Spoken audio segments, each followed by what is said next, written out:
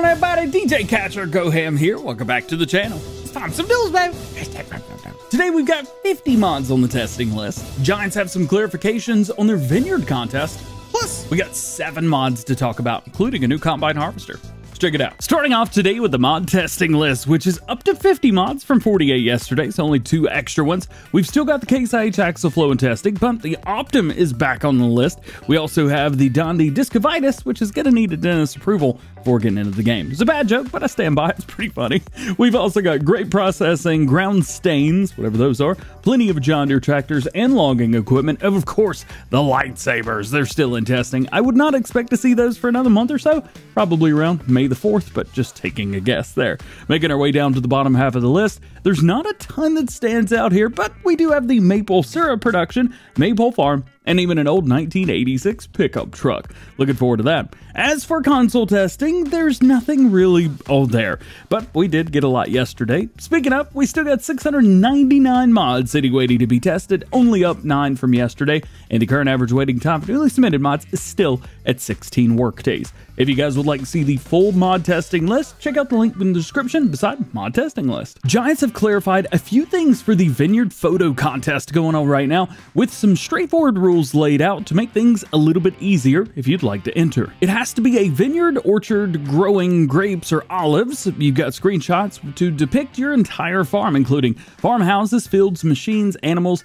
and the general scenery or landscape surrounding it whatever makes it more beautiful. Remember to keep the images and descriptions family friendly. Example, there's nothing more delicious than grape juice produced from grapes, suitable for all ages of course. Machines, brands, mods, things like that are not allowed. Allowed, you may use generic assets from your farm like farmhouses, decorations, things like that unless they are branded, kind of like the Horman stuff, or mods like the player action camera or similar tools like that. Of course, you can get those way up in the air so you can show off everything. The screenshots must be based on Farming Simulator 22, not Farm Sim 19.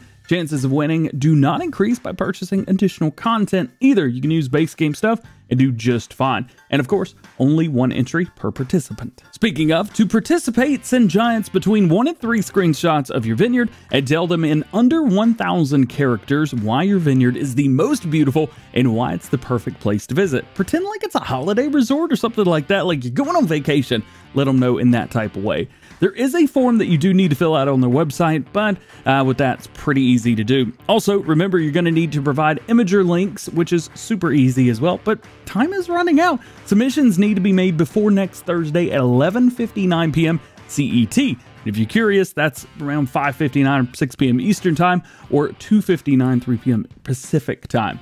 First place prize is going to be getting an NVIDIA RTX 3060 Ti Founders Edition's graphics card, which the MSRP of that's about 400 bucks right now, but it does go for about $800 on the scalper market that we currently live in.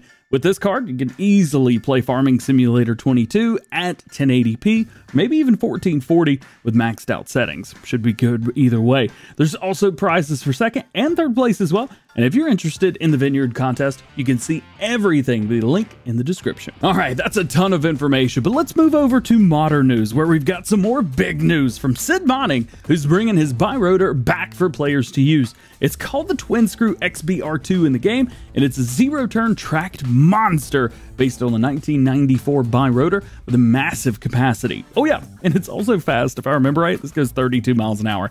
As for the changes that he's made, he's also or he's improved the combine with new textures for Farm Sim 22, but he's keeping all the original features that made this one of the best harvesters to use in Farming Simulator 19. We got grain tank options, light configurations, track options, numbers, pipes, GPS and tablets, and of course, oversized signs. I know the only question that you guys are going to have for now is When's it coming? Well, we don't know, of course, there's no release dates for mods, but we do know that it is happening, and of course, all platforms. Speaking of Combine Harvesters, yesterday Custom Modding released their Case IH Axial-Flow 250 series which uh, kicked off their Project Red Farm initiative. I love it, and it brings Case IH machines and tools to every job on your farm. But that's not the only color that they bleed, because they're also part of the green team. Custom Modding loves everybody, and they posted some new screenshots of their John Deere 4940 self-propelled sprayer with fertilizer box and boom arm options, just like in Farm Sim 19.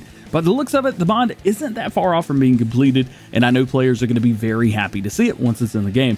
With all the options that we see and will soon be available, running a massive American farm is going to be super easy to do. I can't wait. Of course, you can't forget about their 8R mod pack for John Deere, which is already being tested on ModHub, or so they say anyway. They think maybe there was a translation error. Uh, Giants do have a habit of testing things and not putting them on the list. Cough, cough, anything TLX.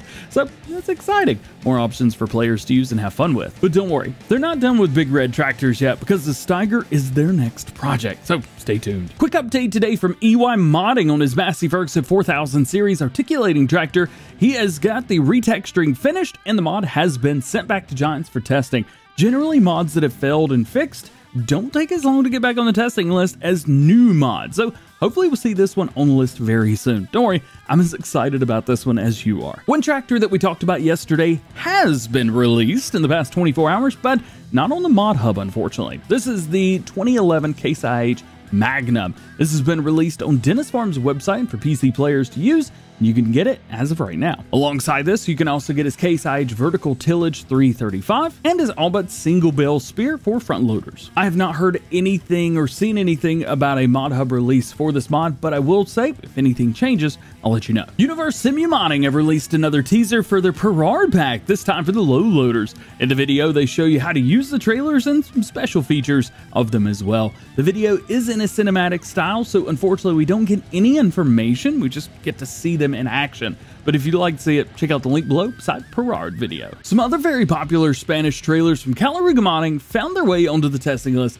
Finally, the Camara RT16. However, yesterday, the modder actually posted the Giants had failed their mod due to the quality of it being too low and not up to the level required for Giants from Mod on Mod Hub. Caleruega Modding did say that they have appealed the decision, and I guess with it being back on the list today, the issue's been resolved. If you've been waiting to use something a little bit different, some Spanish equipment perhaps, well, it should be here soon. And lastly, today, Flusty94 has a new map that they've been working on. We get a first look at it right here. He says these are his first screenshots, show it off for the first time, for Shire Farm, a map that was originally intended to be released at the end of Farming Simulator 19, but didn't have it ready in time. So he converted it for Farm Sim 22. The only thing is, he's not sure if it's going to be for all platforms or not, since there are some custom things on the map that he's made. So no promises yet, but he is trying.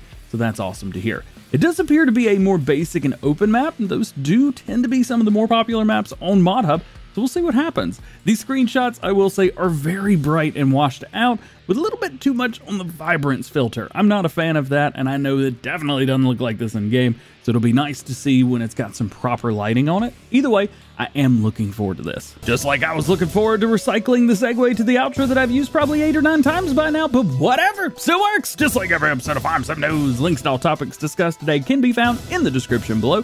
There are no release dates for mods, unfortunately, so no one knows when any mod's going to be released. And if I didn't talk about something that you want to know about, well, that just simply means that there's no new information on that topic at the time of recording this video. So make sure you stay tuned to the channel as I'll give you guys updated information every day on everything going on in the world of Farming Simulator. Well guys, that's going to be it for today. Hope you enjoyed the video. If you did, make sure you drop a like on it. Get subscribed if you're new around here and join the GoHam fam. Make sure those notification bells are on as well. That way you never miss daily Farming Simulator videos here on the channel. With that, I hope you have a great day. We will see you